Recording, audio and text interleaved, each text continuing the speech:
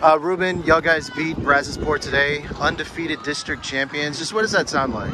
It sounds good. You know, beginning of the year, a lot of people doubted us. We were 0-2. And then we came back in district and won eight in a row, so it feels good. Well, talk about what changed for y'all, because y'all guys started to struggle early in the season, but you guys came back.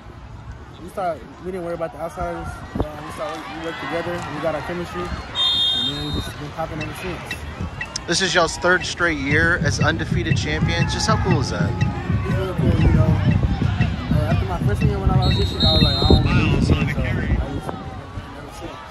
And personally to you, what does this mean? I mean, you're closing out your career here as a district champion, undefeated. It means a lot to, uh, in my, you know, my last district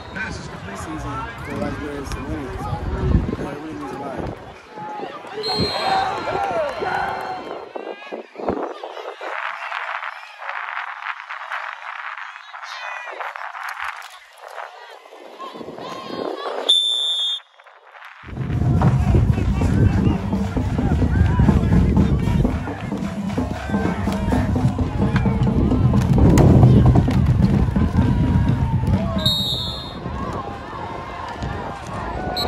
you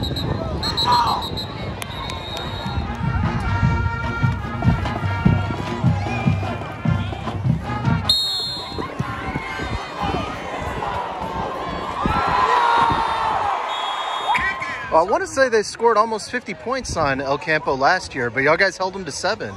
Just talk about y'all's defensive performance. So last year, the only problem with it, the defense, with the defense we had last year was they couldn't stop the run, the quarterback scramble. So this year, that's our main focus was to stop the quarterback from scrambling. Undefeated district champions. How cool is that? That's the best.